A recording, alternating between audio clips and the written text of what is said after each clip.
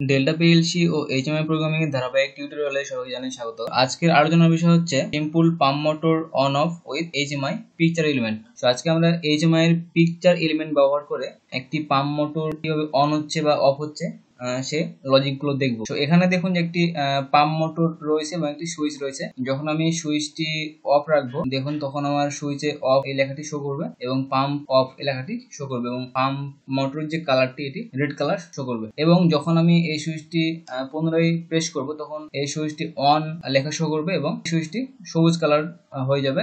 Pump মোটরটি on লেখা দেখাবে এবং সবুজ কালার শো করবে। তো এই যে ডিজাইনটি আজকে আমরা এই এর মাধ্যমে ডিজাইন করব দেখব যে কীভাবে কাজ করছে। তো চলুন এইচএমআই সফটওয়্যারটি আমরা ওপেন করি। তো আজকের প্রোগ্রামটি ছিল হচ্ছে simple pump motor on off with HMI picture element প্রথমে আমি একটি ইনপুট নিয়ে নেব।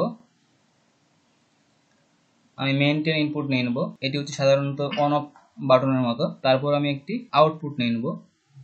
মাল্টি স্টেট ইন্ডিকেটর তারপরে দেখুন যে আমি এখানে রাইট অ্যাড্রেসে আমার যদি ইনপুটটি এক্স ডিভাইস টাইপ হচ্ছে আমার এক্স এবং অ্যাড্রেসটা হচ্ছে জিরো শুধু আমি এখানে লিঙ্ক করে দেবো এক্স জিরোর সাথে।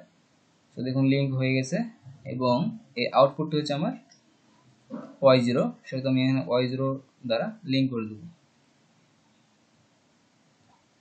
এই যে এক্স জিরো বা ওয়াই জিরো যে লিঙ্ক করেছি, এই যে দেখুন যে পিএলসি প্রোগ্রামটি যে এটি আমার ইনপুট এবং এটি আমার আউটপুট ওয়াই জিরো সো এই পিএলসি প্রোগ্রামটিকে আমরা অন অফ করব। তার সাথে আমরা দেখব হচ্ছে এই আমার ডিজাইনটি সো আজকে যেহেতু আমরা পিকচার এলিমেন্ট সম্পর্কে দেখব, সেহেতু এখানে ডাবল ক্লিক করে দেখুন যে উপরে রয়েছে পিকচার সো এখানে পিকচারে ক্লিক করব। ক্লিক করার পর দেখুন যে পিকচার ব্যাংক নেম সো এখান থেকে আমি ইচ্ছা মতো আমার একটি সুইচের জন্য অন অফ সুইচের জন্য আমি পিকচার বাছাই করে নিতে পারি। সো এখানে অনেকগুলো পিকচার রয়েছে। আপনি আপনার ইচ্ছা মতো পিকচার নেবেন।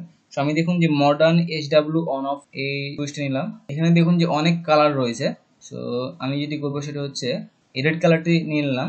সো এখানে দেখুন স্টেট জিরো যখন আমার সুইচটি অফ থাকবে, তখন রেড কালার শো করবে। সাইজটি অনেক বড় হয়ে গেছে। আমি এখান থেকে অ্যাকচুয়াল সাইজ থেকে আমি স্ট্রেচ অল করে নেব। তাহলে আমার অ্যাকচুয়াল সাইজটি এখানে আমি পেয়ে যাব। তারপরে এটি হচ্ছে আমার স্টেট জিরোর জন্য এবং স্টেট অন অর্থাৎ যখন আমার সুইচটি অন থাকবে, তখন আরটি কালার শো করবে। সেটা হচ্ছে, আমি চাচ্ছি যে সবুজ কালার শো করবে। সো আমি আবারও সেই এস ডাব্লু জিরো, এই যে দেখুন modern H W zero on off এখানে প্রেস করব এবং আমি সবুজ কালার একটি বাটন সিলেক্ট করে নেব। সো আমি এটি সিলেক্ট করে নিচ্ছে দেন ওকে দেন দেখুন যে সাইজটি বড় হয়ে গেছে, আমি এই যে স্ট্রেচ মোড থেকে আমি স্ট্রেচ অল করে দেবো, তাহলে আমার সাইজটি পেয়ে যাব। এবং চাইলে আপনি এখানে লিখে দিতে পারেন যে যখন আমার স্টেট অন যখন আমার সুইচটি অন থাকবে তখন এখানে লেখা শো করবে অন এবং একটু বোল্ড করে নিচ্ছি আমি এবং সাইজ একটু বড় করে দিচ্ছি। তো দেখুন, যখন আমার স্টেট অন তখন এখানে লেখা হচ্ছে অন এবং যখন জিরো তো off sorry off then okay তো দেখুন যে আমার সুইচটি নাও হয়ে গেছে এবং এখানে দেখুন যে এর পাশে হালকা অন্য কালারের কি শো করছে। তো আপনি যদি চান যে এগুলো আমি ইনভিজিবল করব, তাহলে আপনি এখানে ডাবল ক্লিক করুন এবং স্টাইল থেকে স্ট্যান্ডার্ড করা রয়েছে, আমি এখানে ইনভিজিবল করে দেবো তাহলে। এই পার্শ্বে কোনো অন্য কালার শো করবে না। এবং তারপরে আমি আউটপুটটি দেখাই। আউটপুটটি আমার লিঙ্ক অজিরো হয়ে হয়ে আছে। সো আমি এখানে এখন পিকচারে যাব এবং আমি আউটপুটে পাম্প মোটর ইউজ করব। অর্থাৎ পাম্প মোটরকে আমি অন অফ করব। সো এখানে দেখুন যে ভেক্টর পাম্প সেখানে আমি ক্লিক করব এবং যখন আমার স্টেট জিরো অর্থাৎ যখন আমার আউটপুটটি অফ থাকবে, তখন আমার রেড কালার শো করবে। সেটা আমি রেড কালারটি সিলেক্ট করে দেবো এখানে এবং যখন আমার আউটপুটটি অন থাকবে, তখন গ্রিন কালার শো করবে। সে কারণে আমি আবার ভেক্টর এইচ ডাবল টু পাম্পে চলে যাব। এবং তখন কি, যখন আমার স্টেট স্টেট অন তখন কি হবে? আমার গ্রিন কালার শো করবে। সো আমি এখানে গ্রিন কালারটি সিলেক্ট করে দিচ্ছি। এবং দেখুন যে সাইজটি অনেক ছোট হয়ে গেছে। আমি সাইজটি ঠিক করে নেব এখান থেকে। যে স্টেজ মোড থেকে আমি স্টেজ অল করে দেবো। এবং জিরো স্টেটের জন্য আমি সাইজটি ঠিকঠাক করে দেবো।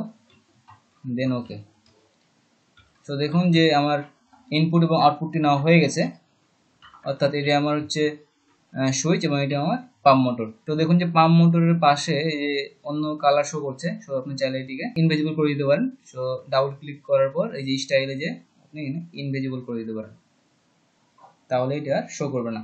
সো আমার প্রোগ্রামটি মোটামুটি ওকে সো এখানে আরেকটি বিষয় সেটা হচ্ছে যখন আমার পাম্প মোডটি অফ থাকবে, আমি এখানে টেক্সট লিখে দেবো। যখন আমার পাম্প মোডটি অফ থাকবে, তখন রেড কালার শো করবে। এবং এখানে লেখা উঠবে হচ্ছে পাম্প অফ এবং আমি বোল্ড করে নেব। সাইজ বড় করে নিচ্ছি। এবং কালারটি করে দিচ্ছি আমি এই কালার সো দেখুন যে আমার পাম্প অফ লেখাটি হয়ে গেছে এবং আমি চাইলে এই লেখাটি পাম্প মোটরের মাঝামাঝিতে নিয়ে আসতে পারি। সো এখানে আপনি সুইচ বাটন ক্লিক করলে এটি চলে আসবে। দেন ওকে তো দেখুন যে আমার পাম্প মোটরটি অফ রয়েছে, সে কারণে পাম্প অফ লেখা উঠেছে এবং রেড কালারটি শো করছে এবং যখন আমার পাম্প মোটরটি অন হবে, তখন সবুজ কালার এখানে শো করবে এবং এখানে লেখা উঠবে হচ্ছে পাম্প অন বোল্ড করে নেব এবং সাইজটি বড় করে নেব একটু। তারপরে কালারটি চেঞ্জ করে দেবো। ওকে সো দেখুন যে যখন আমার পাম্প মোডটি অন তখন পাম্প অন লেখা উঠে আছে এবং এখানে সবুজ কালার শো করছে। এবং যখনই আমার পাম্প মোডটি অফ তখন কি হচ্ছে? যে আমার এখানে রেড কালার শো করছে এবং পাম্প অফ লেখা উঠে আসে। সো আমার প্রোগ্রামটি ওকে আমি এখন এই প্রোগ্রামটি সিমুলেশন করে দেখব।